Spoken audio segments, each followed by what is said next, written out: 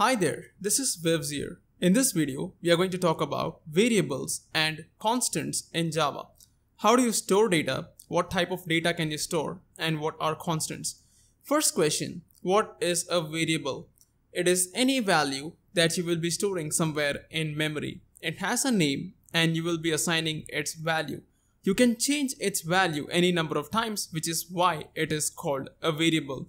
Let's take a look at some types of data that we can store with variables. So we have byte, short, int and long. Now all these four types can store numbers without decimal points and notice their sizes at the bottom. Now the next four types that we have would be boolean, char, float and double.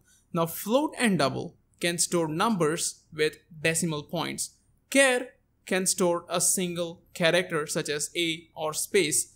Boolean can store only true or false. Unlike other programming languages where 0 is false and any other number is true or 1 is true, Java does not have such exceptions.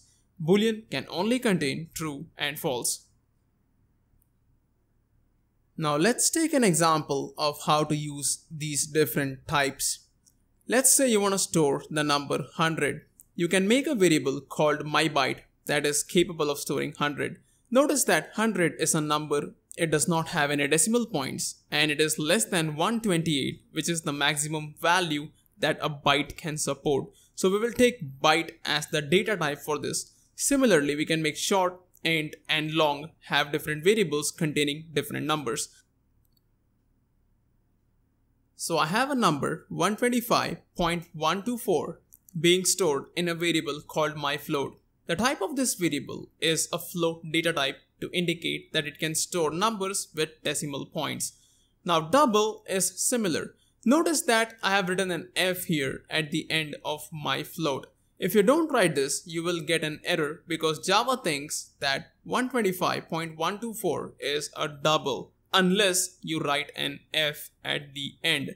And char, as you notice here, can store a single character. And boolean condition variable can store either true or false.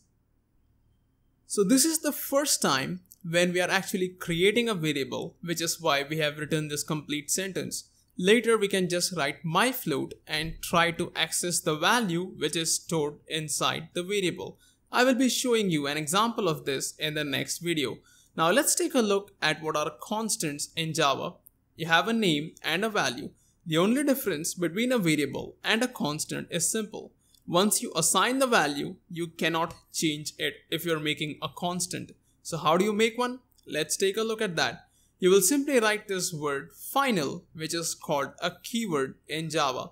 It tells the compiler that the value of pi cannot be changed from 3.1415 to any other number.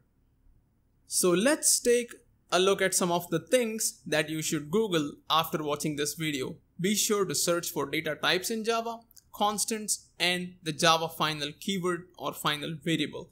Thanks for watching. I will show you what these things do and how they work in the next video. In the meantime, have a nice day.